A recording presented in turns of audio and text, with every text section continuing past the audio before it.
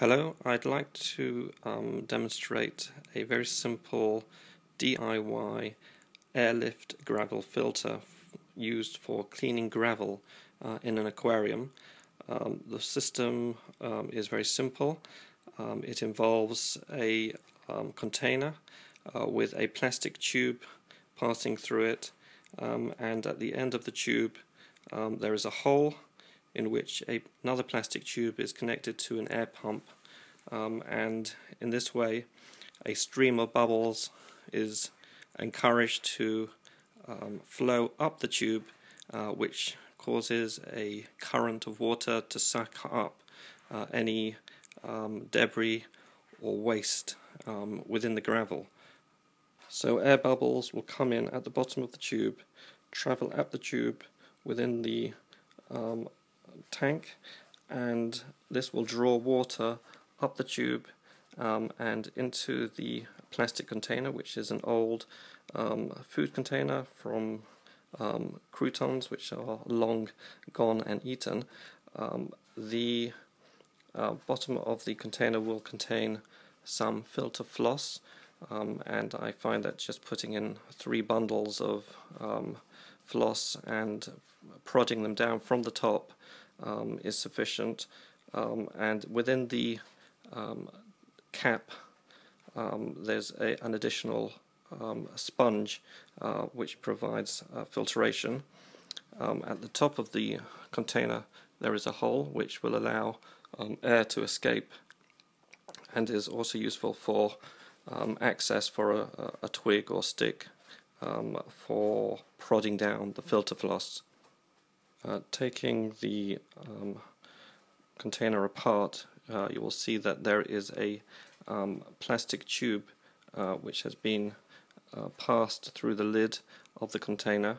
Um, the way to uh, form a hole um, is with a, a, an awl which is heated up, which will then melt through the plastic um, the hole is made progressively larger until the size of the tube um, is reached and then the tube is just simply passed through.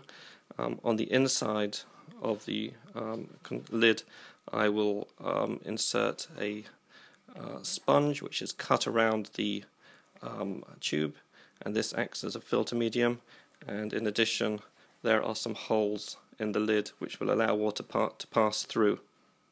Um, I prepared a um, sketch of the design.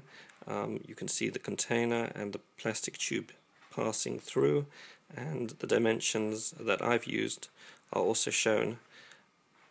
I'd now like to demonstrate um, using the uh, gravel filter. I've um, connected the pump to the power supply and air bubbles are now passing up the tube uh, which I will now lower down to the gravel level.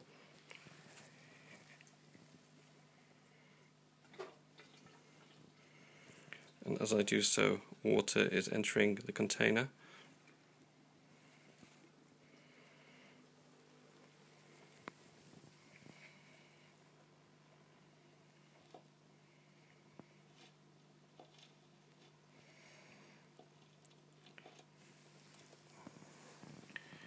And you should be able to see the dirt from the gravel um, being sucked up the tube uh, and into the container.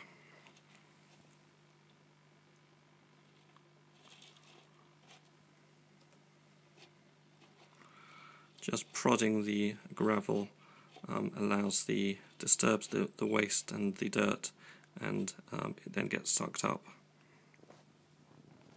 After a short period of time uh, you'll notice um, the um, container is becoming filled with uh, debris uh, which will settle into the uh, filter medium um, and any water will then pass out through the bottom of the uh, container via the lid um, and not uh, recontaminate the um, tank. Showing a close-up of the filter in action.